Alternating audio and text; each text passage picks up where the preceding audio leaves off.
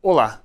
Novamente, voltando às aulas de tempo de vida de fluorescência, a gente vai então passar para a aula 3, que é o funcionamento do sistema de FLIM clínico, certo? Como que a gente vai fazer para ligar, fazer aquisição das imagens e desligar o sistema. A gente já passou então, relembrando, pela aula 1 de teoria de fluorescência, certo?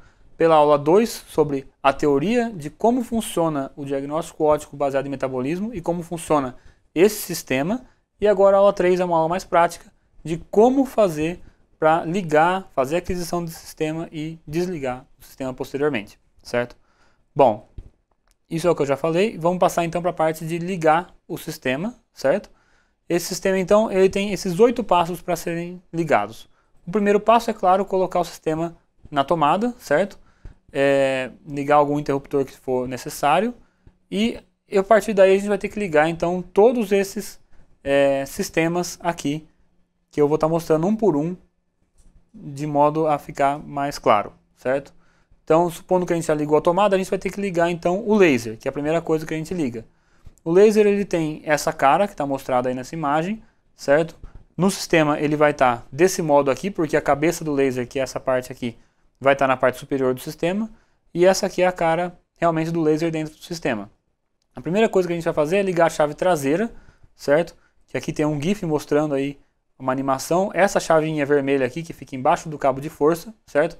Como que a gente vai ter que ligar ela? A gente vai ter que entrar pela frente mesmo do sistema e com a mão acessar essa chavinha, esse botão vermelho aqui que fica embaixo então dessa parte de alimentação do sistema. Ligado isso, a gente vai ligar então a chavinha é, frontal, certo? Nessa, nessa direção de rotação. E o que a gente vai obter então é essa luzinha acesa do laser. Essa luz ela vai ficar piscando por algum, alguns minutos, certo? Enquanto o laser está estabilizando. Quando o laser ficar estável e pronto para medida, essa luz vai ficar acesa sempre, tá? E a partir daí a gente vai poder ligar os outros módulos do sistema. A partir daí a gente começa então a ligar a parte de aquisição, que é a DAC. Isso aqui é realmente o, o equipamento que a gente vai ligar. É só apertar esse botão aqui e ele vai ficar aceso dessa maneira dentro do sistema. Aqui ele está todo conectado, a gente consegue ver já dentro do sistema. Outra parte que a gente vai ligar é a fotomultiplicadora, também para aquisição. Essa é a fotomultiplicadora, é esse botão que a gente vai apertar. E é assim que ela vai ficar dentro do sistema. Você vê que já tem tá tudo conectado aí também, tá todos os cabos aí. Depois disso a gente vai ligar o computador, só ligar no botão do computador normal. E a gente vai ligar também a fonte de tensão para fazer a leitura da imagem, certo? A varredura da imagem, que são os espelhos galvanométricos. Essa é a fonte que a gente está utilizando, certo? É assim que ela fica desligada dentro do sistema. Quando a gente apertar esse botão aqui, ela vai ficar ligada dessa maneira. Ficar atento que é, essa fonte ela tem que estar sempre com esses valores para é, poder fazer a aquisição. Os valores são esses aqui, 19.10 ou 19.11 e 0.36 ou 0.37. Isso aqui são volts da fonte de alimentação e isso aqui são é, corrente da fonte de alimentação, que é em amperes, certo? Bom, ligado à fonte de alimentação dos espelhos, a gente vai então ligar o sincronizador do sistema. É uma parte que a gente tem que ter bastante cuidado, certo? Porque a gente tem que passar por cima de toda a ótica para ligar realmente esse sincronizador. Aí estou mostrando também uma animação onde mostra eu ligando esse sincronizador e desligando o sincronizador. É esse botão então que a gente tem que apertar, certo? Que a gente tem essa chavinha, tem que virar para a chave. Se a gente virar a chavinha para o lado 1 ali, que é o lado que está na direção do laser, ele está ligado. E se a gente virar para o lado de lá, para o lado contrário ao laser, ele está então desligado. De novo, tem que ter muito cuidado aqui nessa, nessa, nesse momento, porque realmente a gente vai estar tá passando por cima de toda a ótica do sistema e se a gente desalinhar essa ótica, é, tende a ter problemas na medida depois, certo? Então, não mexer, não tocar em nada a não ser o sincronizador que está lá no fundo da mesa ótica, tá? Bom, a gente passa então para a parte de aquisição das imagens, já que o sistema está ligado e totalmente correto para fazer então a aquisição. A gente vai ligar o computador, primeiro vai ter aqui a senha que vai estar tá passada para o pessoal que vai estar tá usando e essa é a interface, né, um Windows normal, que vai estar tá aqui e a gente vai clicar nesse botãozinho aqui do lado, que é o botão do LabVIEW, que é onde vai estar mostrado a plataforma para fazer a aquisição desse sistema. Então esse é o LabVIEW, é, vai abrir, quando a gente clicar, vai abrir aí, vai começar a abrir o sistema desse modo, certo? E o final, quando abre realmente, quando carrega tudo, fica desse modo aqui, fica essa janela. O que, que a gente vai ter que fazer? A gente vai ter que clicar nessa abinha aqui, que está escrito de abrir o programa Flim underline 3.2 VI, certo? A gente vai clicar, ele vai ficar selecionadinho assim e vai abrir então essa janela para a gente. Nessa janela a gente tem então a interface gráfica para fazer a aquisição. A gente tem quatro abas aqui que a gente vai passar por todas elas, começando então por essa aba aqui, que é a aba de Advanced Settings, que é os ajustes avançados. Aqui tem todas as é, definições que vão ser feitas para fazer a aquisição do sistema, certo? Em geral a gente não mexe nisso, mas é só para mostrar o que está sendo feito, tá? É, a outra aba é a preferências do usuário, que a gente pode colocar aí algum, alguma um delay ou algum filtro de sinal ruído. Em geral a gente também não costuma mexer nisso, tá? Apesar de serem preferências do usuário, a gente não costuma mexer para sempre padronizar todas as medidas para a gente poder fazer depois a análise dos dados corretamente, para ser tudo padrão. Então aqui está mostrado tudo o que tem para ser padronizado. E, em geral a gente não mexe. Para começar a fazer a aquisição, então, a gente vai clicar nesse botãozinho aqui, que é o Run, certo? Que a gente vai ligar o software com relação ao sistema que a gente já ligou anteriormente, certo? Quando a gente ligar, essa parte vai ficar aqui, essa setinha vai ficar pretinha e vai aparecer o botão de desligar e, e interromper aqui, certo? A partir daí o software está rodando, a gente vai clicar aqui nesse OK para ele abrir então para a gente essas outras abas aqui, que são a aba de aquisição e de mais informações. Essa é a aba de aquisição. Eu vou passar por tudo um pouco nessa aba, certo? Mas a primeira coisa que a gente tem que fazer é realmente ligar esse botãozinho aqui, que é a fonte de tensão, e colocar um valor aqui nessa caixinha, que vai ser a fonte de alimentação para nossa, é o ganho da nossa fotomultiplicadora. É o quanto ele vai multiplicar o nosso sistema para fazer uma melhor imagem. Eu vou mostrar direitinho como colocar esse ganho daqui a pouquinho. Bom, colocado o ganho, a gente vai fazer primeiramente um preview, que é uma pré-visualização para saber se a sua imagem está ficando boa ou não, certo? Então eu fiz aqui um preview de uma região, certo? De uma pintinha, uma pinta no braço, certo? E o que, que a gente consegue ver aqui? Essa é a região da pinta, certo? Essa é a região que foi amostrada, 8,65 milímetros de diâmetro, certo? Que é o que está sendo mostrado ali nas figuras. Vou falar daqui a pouquinho também o que são essas figuras. Então lembrando que cada pixel dessa imagem tem aqui esse padrão, certo? De, é um vetor temporal com os três decaimentos e é o que a gente vai observar nessa parte aqui do sistema. Essa parte aqui do sistema vai ser muito importante para a gente setar, ajustar aquele ganho que eu setei começando ali em 2.2, certo?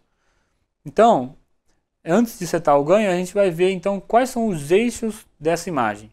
Por exemplo, em relação à, probe, é, esses são os eixos, certo? O que, que isso quer dizer? Se a probe tiver, se a sonda tiver nessa dimensão, tudo que tiver para cima vai estar tá nessa dimensão e para o lado também. Esses são eixos XY dessa probe. O que, que isso quer dizer na imagem é que o eixo está dessa forma. Ou seja, se eu coloquei a probe na região aqui da, da pinta, por exemplo, no braço, é, e a pinta está numa região mais superior no canto esquerdo, é porque a probe foi alinhada de modo a ficar nessa região do campo esquerdo também e a imagem também vai sair nessa região do canto esquerdo superior. Bom, é, esse é os eixos da, da sonda, esse é como o sistema funciona em relação a eixos. Dado isso, a gente vai ter então as imagens, certo? E o que, que significa cada imagem? É, essa, essa primeira imagem aqui, definida por essa coluna, é a coluna do canal 1, certo? E que está relacionado ao colágeno e à elastina, majoritariamente. A segunda coluna está relacionado aos tempos de vida do canal 2, que está relacionado ao NADH, majoritariamente. E a terceira coluna está relacionado ao FAD, majoritariamente, certo? E o que, que são basicamente essas colunas. a primeira coluna é o canal 1 e a primeira linha das colunas é o canal 1 em relação à intensidade de fluorescência. É como se fosse a, a fluorescência de estado estacionário, na primeira parte aqui. Na parte de baixo é em relação ao tempo de vida de fluorescência.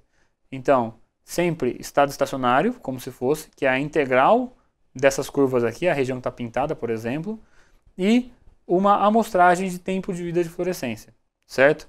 Como a gente vê aqui, no terceiro canal a gente tem pouco sinal, então a gente tem muito erro aqui na amostragem. E assim por diante aqui no canal 2 e no canal 1 também, em relação sempre a imagem de cima é sempre a intensidade de fluorescência e a imagem de baixo é sempre relacionada ao tempo de vida. Essas são as escalas, certo? De imagem de integrada e a escala de tempo de vida médio em relação às cores aqui, de 0 até 5 nanosegundos, por exemplo. Essa imagem grande aqui é só uma imagem para visualização, que é como se fosse uma imagem RGB, ou seja, azul, verde, vermelho, dessas três imagens aqui conjuntas, certo? É só para visualização mesmo, para saber se a gente está pegando a região certa, para saber se está fazendo uma aquisição é, correta do sistema. Bom, é, como eu disse, esses aqui então vão ser mostrados a parte dos vetores temporais em todos os pixels. Para que, isso serve? Para a gente ajeitar, acertar o ganho da fotomultiplicadora nessa região. Nesse caso aqui o ganho está baixo, porque a gente vê que todos os pixels aqui estão com pouca fluorescência, certo? A gente vai então lá e acerta o ganho, aumenta o ganho, certo? Aumenta o valor desse, desse ganho. E a gente chega, por exemplo, a essa configuração de pixels aqui. O que a gente pode observar é que aqui, por exemplo, começou a saturar alguns pixels. Mas isso não tem muita importância porque isso ainda é um ganho bom, porque nem todos os pixels estão saturados. Então a gente pode ainda tentar aumentar um pouco mais o ganho para ver se o ganho continua bom. Então aumenta mais um pouquinho, a gente vai ver que tem mais pixels saturados aqui, certo? A gente vai ver se isso é bom ou não, mas até aqui ainda são poucos pixels saturados, a gente conseguiu aumentar bastante o ganho nessa região aqui e começou também a aparecer pixels nessa região. Então isso também é um ganho bom, certo? A gente pode continuar aumentando esse valor de ganho na fotomultiplicadora e a gente vai começar então a saturar mais pixels. Isso é, realmente é um ganho muito alto, certo? Muitos pixels estão saturados e você vê que a imagem já começa a ficar mais é, até mais uniforme aqui, porque isso realmente está saturando todos os pixels. E a gente pode ainda aumentar mais ainda o ganho, certo? E a gente vê realmente que esse ganho está muito alto. Isso aqui é, é, é, danifica até inclusive a, a, pode danificar até inclusive a fotomultiplicadora. Não é interessante trabalhar com esse ganho. Então a gente volta para o ganho normal, certo? Para um ganho bom, que eu estou chamando aqui, certo? E a gente tem todas essas imagens e a gente tem aqui então bons ganhos de aquisição. A gente pode então ir para a parte de salvar a imagem. A gente pode salvar essa imagem de preview e o que vai ficar aqui é sempre assim. É, o número da imagem, a data que ela foi feita, o horário e se for um preview, ele vai aparecer um preview aqui com é, padrão de salvar as imagens, certo?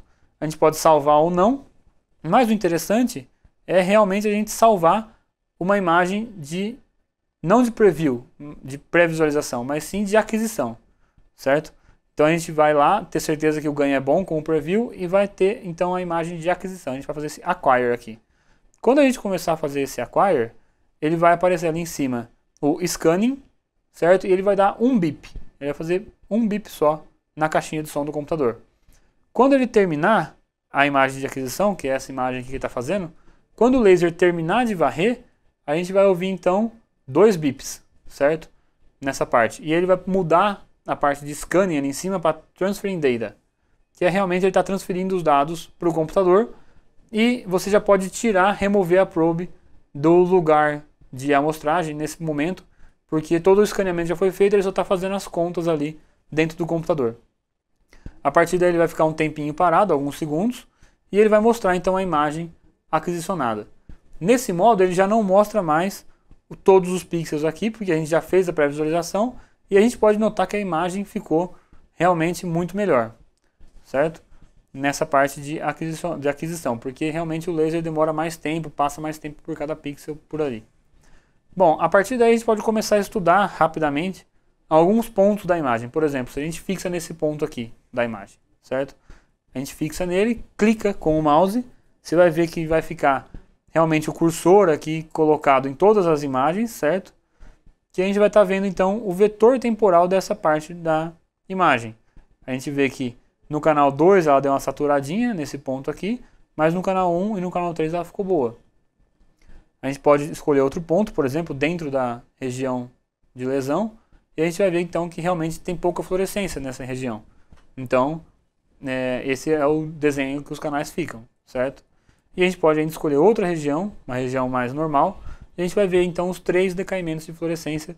Isso são os dados crus, por isso que ele tem essa, essa variação tão grande e esse é, ruído tão grande dentro do sinal, certo? Bom, é, Feito isso, a gente vai salvar. O interessante nunca é salvar o preview, né? A gente, para a gente poder salvar o preview, nunca é interessante salvá-lo. O interessante realmente é salvar a imagem de aquisição, ou seja, a imagem depois de um bip e dois bips do computador, certo? Quando a gente salvar, ele vai ficar com essa, essa informação aqui. De novo, o número da imagem, o dia que a imagem foi feita e o horário, certo? Isso é padrão. Você pode escolher é, remover isso ou não, mas é um padrão do, do, do software, certo? Então a gente vai colocar aqui o nome ou alguma informação a mais que você queira e realmente salvar essa imagem. Na aba aqui de mais informações, a gente vê realmente outras características, outras imagens formadas pelo programa também. Aqui é uma imagem de, de é, intensidade pontualmente, certo? O que isso quer dizer? Qual dos canais, aqui a gente vai ver em qual dos canais tem mais intensidade de fluorescência. Quanto mais para o vermelho, mais intensidade em cada um dos canais, certo? E aqui a gente vai ver a razão sinal ruído desses canais. Quanto mais para o vermelho, melhor a, a fluorescência desse canal, certo? Então quer dizer que esse canal aqui está muito bom, esse aqui tem alguns pixels saturados, como a gente já viu, e esse aqui tem pixels de baixa intensidade, ou seja, baixo sinal ruído.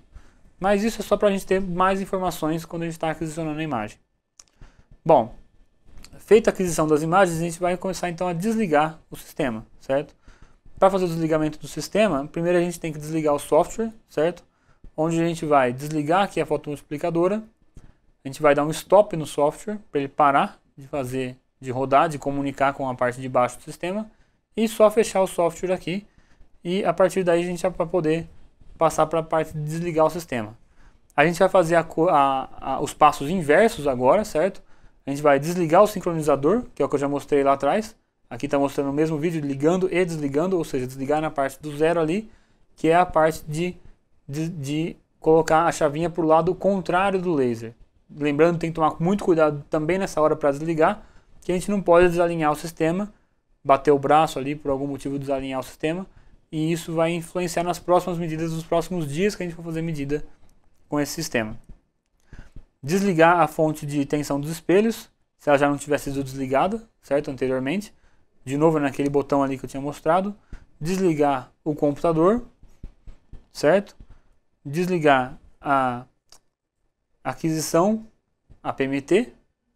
Ela vai ficar desligada, vai ficar tudo é, sem mostrar nada, nenhum valor ali. Desligar a parte de aquisição, certo? A DAC. Desligar a chave frontal do laser, certo? Que é aquela primeira chavinha que eu mostrei. E depois de esperar esfriar, a gente vai desligar essa chave que está mostrando aí agora, que é a chave traseira. Então primeiro a gente desliga a chave frontal, espera esfriar um pouco, certo? O laser, alguns minutinhos aí, uns 5 minutinhos pelo menos, certo? E depois a gente vai desligar a chave frontal e por fim a gente desliga realmente a tomada do interruptor e tira o equipamento da tomada se for necessário, certo? Bom, é, depois de tudo desligado, a gente vai ter que guardar a probe, certo? Essa probe que a gente tirou para começar o experimento, né? Que estava em cima da bancada, ela é guardada nesse lugar aqui, da, ao lado da mesa ótica. Então essa aqui é uma foto dela guardada e ela é posicionada em cima dos equipamentos mesmo, então. Lembrando que essas fibras aqui, elas são fibras óticas, né? Que praticamente é vidro. Então a gente não pode dobrar ela mais do que já está dobrada aqui na região da probe, por exemplo, certo? Então, é, lembrar que não nunca dobrar essas fibras, sempre colocá-las também com cuidado, porque também é material ótico. Bom, com isso eu agradeço, termino essa aula e deixo então meu e-mail para algumas dúvidas e muito obrigado.